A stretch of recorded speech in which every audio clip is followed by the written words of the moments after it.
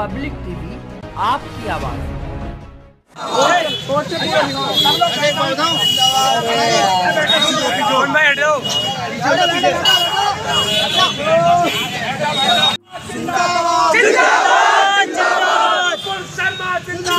जिंदाबाद जिंदाबाद कन्हैया के हत्यारों को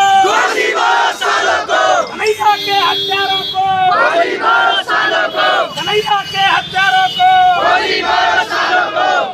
भाई साहब, उदयपुर में राजस्थान में जो कन्हैया लाल की हत्या हुई है और जिस प्रकार से आतंकी वारदात की तरह उसे अंजाम दिया गया है हमारी मांग है कि जल्द से जल्द उन्हें फांसी पर लटकाया जाए। और भारत है ये ये हिंदुस्तान है हिंदुओं का देश है। अगर हिंदू यहाँ पर सुरक्षित नहीं रहेगा तो फिर क्या अरब अमीरात या दुबई जैसे देशों में सुरक्षित रहेगा? हमारी मांग ये है कि उन्हें तत्काल फांसी पर लटकाया जाए और उनके मंसूबे इसलिए भी नापाक लग रहे हैं कि उनकी गाड़ी जो मोटरसाइकिल का नंबर था वो छब्बीस ग्यारह था। और उनकी मोटरसाइकिल का नंबर विशेष रूप से आरटीओ में एप्लीकेशन लगाकर वो छब्बीस ग्यारह नंबर लिया गया। छब्बीस ग्यारह वो तारीख है, जिस तारीख में मुंबई पर आतंकवादी हमला हुआ था।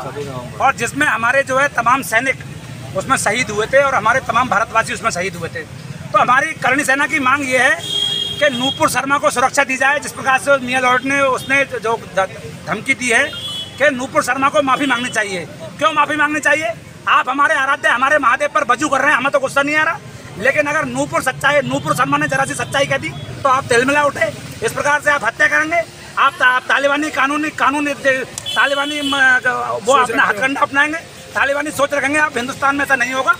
उन्हें तत्काल फांसी पर लटकाया जाए करणी सेना ये मांग करती है। कराऊँगा आपको? मेरा नाम योगेंद्र सिंह राणा है।